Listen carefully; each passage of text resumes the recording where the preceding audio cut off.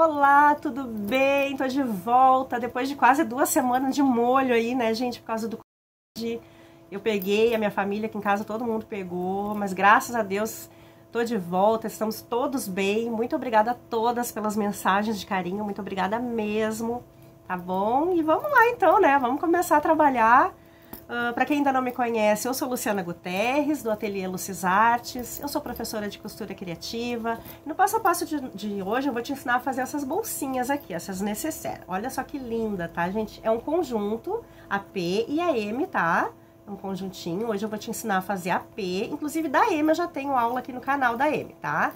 Mas enfim, hoje eu vou te ensinar a fazer desse tamanho.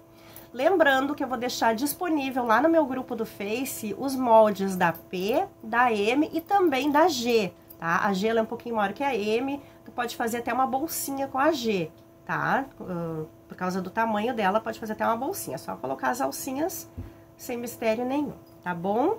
Gente, esse conjunto aqui, ó, faz parte dos kits que eu tô vendendo agora lá no meu site, www.lucianaguterres.com Olha só, esses kits aqui, ó, vem com o molde já impresso no tamanho real, tá? Vem com a manta, aqui manta R2, vem com tecidinho de fora, tricoline 100% algodão, vem com tecidinho de forro, esse aqui é um poá, ó, amarelinho, tá?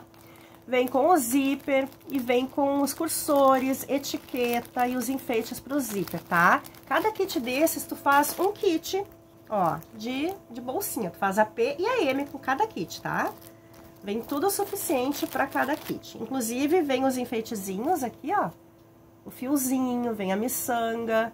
E para quem não tem etiqueta, vem também um parzinho de etiqueta, um para cada peça da etiqueta da nossa parceira BV Etiquetas, tá?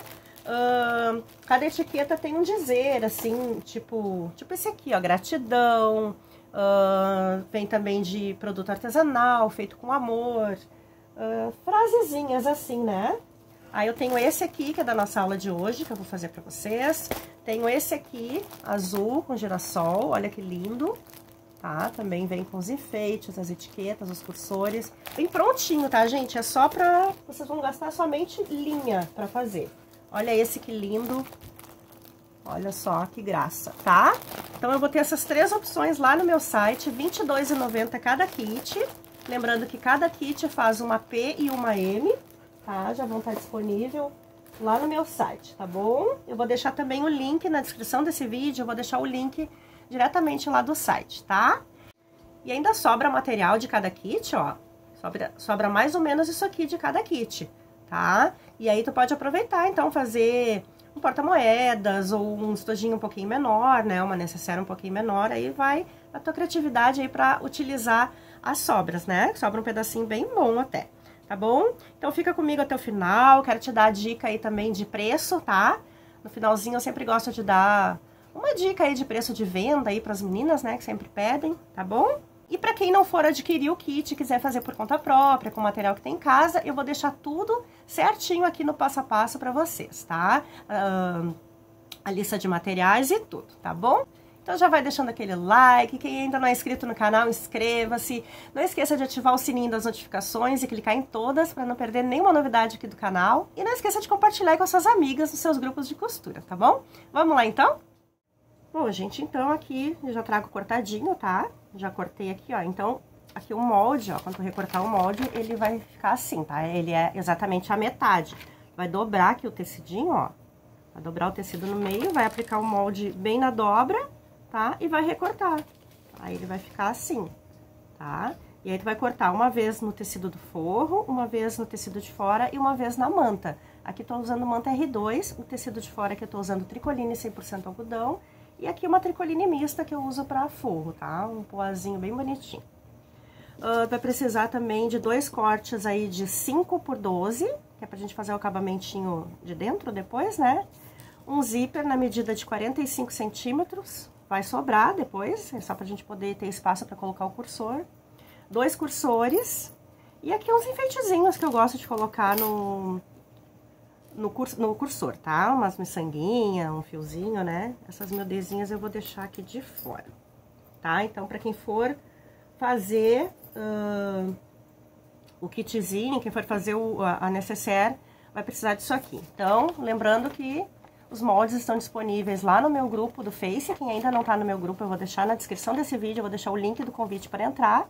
E aí lá na seção de arquivos, vocês vão encontrar os moldes, tá? Entre outros, já tem outros, vários moldes lá também, se quiserem aproveitar, tá bom? E para quem tá adquirindo o kit, uh, lembrando, tá? Que dá pra fazer as duas necessárias e ainda sobra aqui uns pedacinhos, ó. Sobra um pedacinho de manta, vai sobrar um pedacinho do tecido. E do pedacinho do tecido de que vai sobrar do forro, vai tirar as tirinhas, essas aqui, tá? E ainda vai sobrar isso aqui, ó, que tu pode fazer alguma outra coisinha, né? Um porta-moedas, pode inventar ainda alguma coisinha com as sobras, tá bom? Vamos lá, então, pro passo a passo? A gente vai começar, então, pregando a etiqueta antes de qualquer coisa, tá? Então, quem não tem a sua etiqueta própria e adquiriu o kit, no kit vai algumas etiquetas, tá? Em cada kit vai duas etiquetas uh, com frases assim, gratidão, uh, feito com amor, produto artesanal, tem vários tipos, tá? Essas etiquetinhas aqui, ó, são brindes da nossa parceira aqui do canal BV Etiquetas, tá?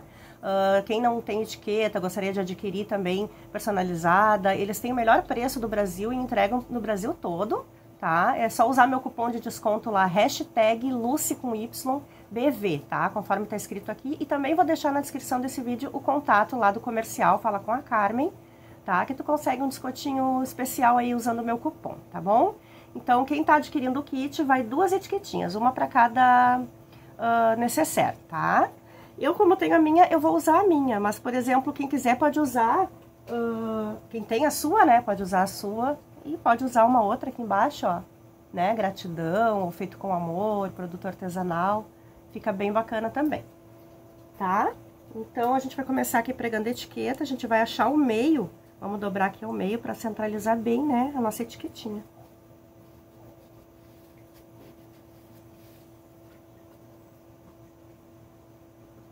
Aqui ficou a marca, eu vou pregar bem aqui no meio, ó.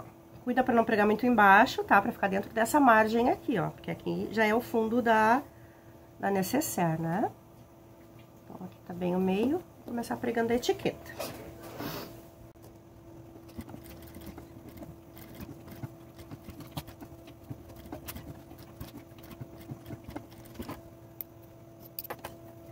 Pronto. Aí agora, vamos começar a pregar o zíper, tá? A gente vai destacar ele, então.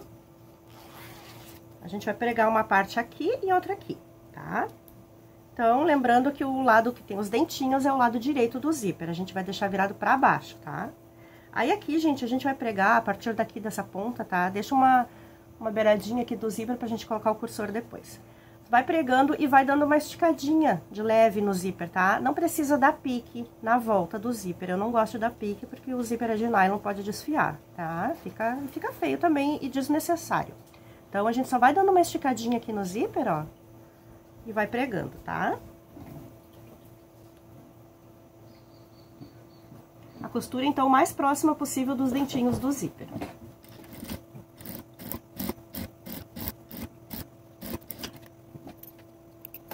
Ó, ele fica assim esticadinho, tá? Ele fica levantado aqui assim, essas partezinhas, mas depois a gente ajeita quando for pregar o forro. Aí agora do outro lado a mesma coisa.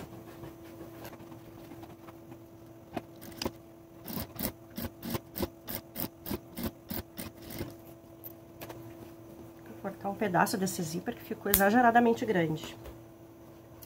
Assim, tá bom. Aí, agora, a gente vai pegar o forro e vai colocar a parte direita do forro virada pra baixo, tá? Vamos encaixar aqui, ó, e a gente vai costurar o forro no mesmo lugar que a gente costurou o zíper. Só que como o zíper fica levantando essa partezinha aqui, na, nessa parte arredondada, a gente vai clipar tudinho aqui, ó. Pra não correr o risco de costurar com o zíper dobradinho, né? Então, a gente vai ajeitar tudo com clips e depois costurar, tá? Ou com alfinete, como preferir. Nossa, minha cachorrinha... Capaz que ela não vai aparecer no vídeo, né? Sempre, sempre tem que dar o ar da graça. Onde eu tô, ela tá na minha volta. E se eu fechar a porta aqui pra gravar e deixar ela do lado de fora, ela fica arranhando a porta, incomodando, é pior ainda. Então, não tem o que fazer.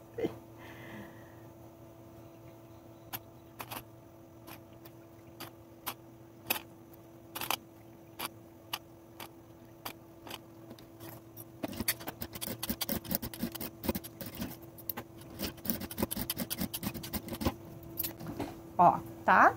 Assim, então. Aí, agora, a gente vai desvirar, então, aqui pela lateral.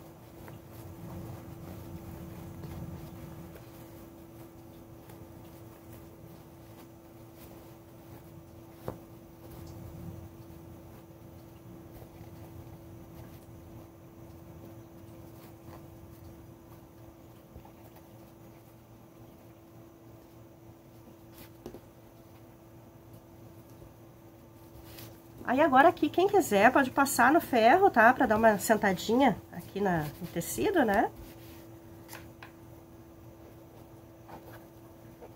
Pode dar uma passadinha ali no ferro. Eu vou rebater direto. Eu vou rebatendo e vou ajeitando. Aí aqui assim, ó. Vamos rebater aqui na beiradinha, tá? Onde a gente colocou o zíper nos dois lados. E aí vamos aproveitar e vamos fechar aqui no meio, ó tá? A fechar que eu digo é passar uma costurinha bem na beiradinha, só pra juntar tudo, né? Uh, tecido do forro com tecido de fora, tá? Deixar tudo juntinho aqui, tá? Eu vou fazendo aqui pra vocês verem como que é. Ó, aqui eu rebati, né? Chegando aqui na pontinha do biquinho aqui, ó. Não precisa nem arrematar, eu venho aqui e já passo a costurinha.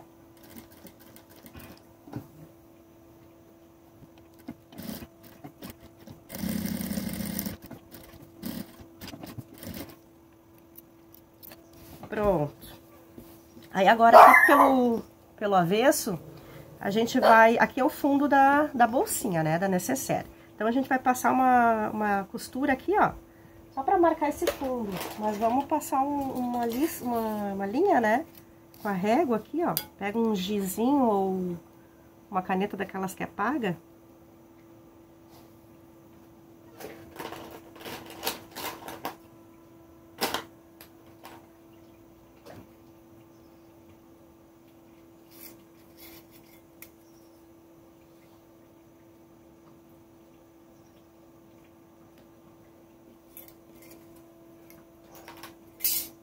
tá? E a gente passa uma costurinha aqui e outra aqui.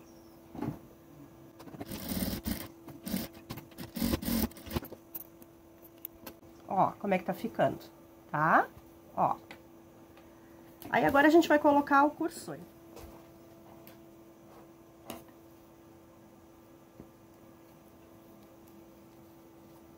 Aí, aqui a gente coloca do mesmo jeito que eu ensino sempre, né, nas minhas aulas. Corta um, um dos ladinhos dos dentinhos do zíper. Aí, a gente coloca o cursor no lado que tem todos os dentinhos, conforme vai baixando, vai encaixando do outro lado.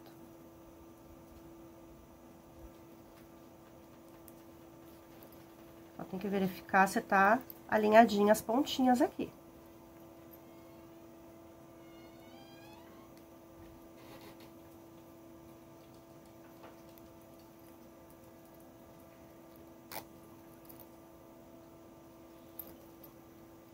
Daí a gente deixa assim pro lado do avesso, fica melhor, né?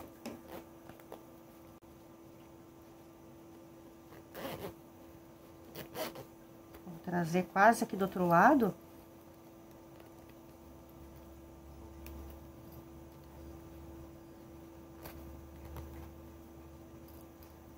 E aí, desse outro lado, a gente encaixa o outro cursor.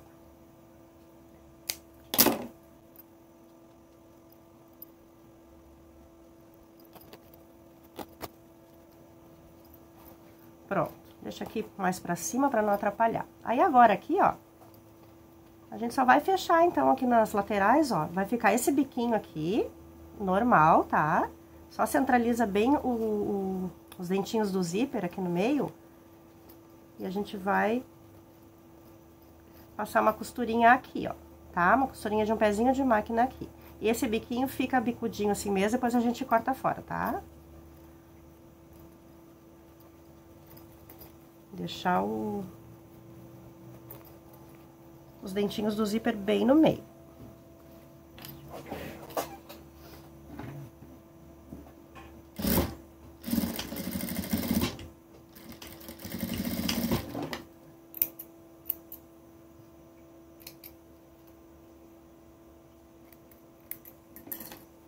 Ó, daí é só cortar fora esse excesso aqui. Tá? Do outro lado a mesma coisa.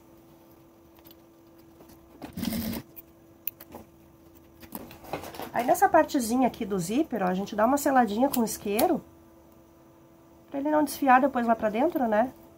Ele é de nylon, pode desfiar. Aí, agora a gente vai pegar aqueles retalhinhos, ó, e a gente vai usar aqui pra fazer o acabamento como se fosse um viés, ó. Vai colocar o direito com o direito, tá? Pode ser aqui pela parte de baixo mesmo. E vai passar, deixa, isso que sobrar aqui, ó, dos lados é assim mesmo, deixa essa sobrinha, tá? Só divide bem pra ficar um pouco pra cada lado. E a gente vai fazer uma costurinha aqui de um centímetro.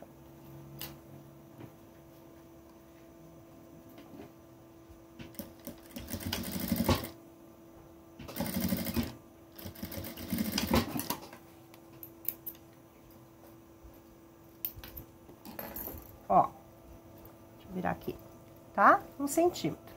Aí, tu vai jogar lá pra frente. Essa partezinha, sabe, que sobrou, até é exagerado, não precisa sobrar tanto assim, ó. É isso aqui eu cortei exatamente a medida da sobra do, do tecido do kit, né? Ó, pode ser assim.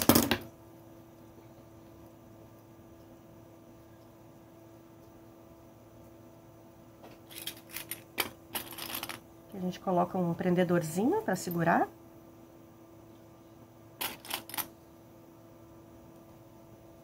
E aqui, ó, a gente dobra uma vez e dobra de novo. Formando um viezinho, tá? Só pra tapar aquele... Só pra fazer o acabamentinho, né?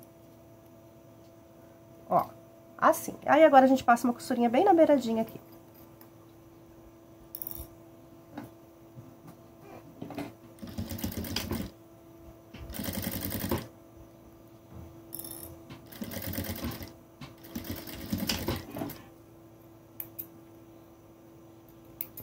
Pronto, ó, assim, tá? Tá com acabamentinho. Agora, a mesma coisa do outro lado. Cortar um pedaço, né? Quem quiser pode fazer isso aqui com o próprio viés mesmo, né?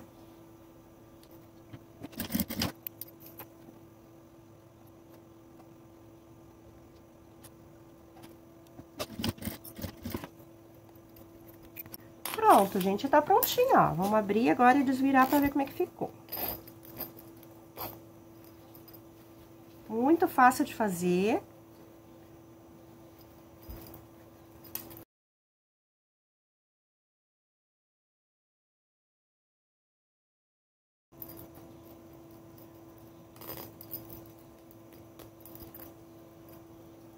Olha que fofura. Agora eu vou enfeitar aqui o cursor com, com as miçanguinhas e já volto com ela prontinha, tá? Prontinho, olha só, eu gosto de colocar sempre enfeitezinho. Olha que graça, gente, que ficou. Olha que amor de conjunto que ficou. Olha só para presentear agora aí na Páscoa, depois Dia das Mães também, né? Um belo de um conjunto. Esse conjunto aqui, gente, dá para vender tranquilamente aí na faixa dos 50 reais, um conjuntinho desses, tá? 45, 50 é um preço bem bom. Só uma sugestão também, né? Depende do, do, do que tu gasta, do teu tempo para fazer, né? É um conjuntinho rápido, depois que tu pega a prática, faz vários aí num dia. Pode fazer para vender ou para presentear, né? Muito lindo, uma graça. Então tá, gente, era isso por hoje. Se ficou alguma dúvida, coloca aí nos comentários, tá bom? Pode colocar aí nos comentários também sugestões aí para as próximas aulas, ok? E era isso então, se gostou, não esqueça de deixar aquele like, de se inscrever no meu canal quem ainda não é inscrito, de ativar o sininho das notificações e clicar em todas para ficar por dentro de todas as novidades aqui do canal e não perder nada, tá bom? E não esqueça de compartilhar nos seus grupos com as suas amigas, ok? Muito obrigada a todas, beijos e até a próxima aula!